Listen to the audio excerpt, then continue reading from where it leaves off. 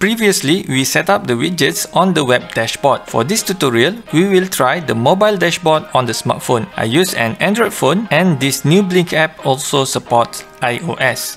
Go to the Play Store and install the Blynk IoT app. Open and log in using the same ID as on the web.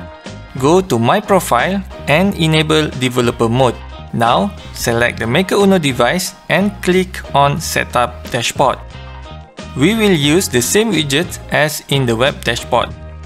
The first is a button widget with DataStream LED.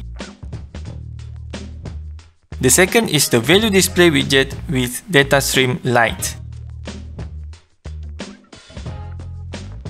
Done set up the dashboard. To execute it, just go back and you can see the result.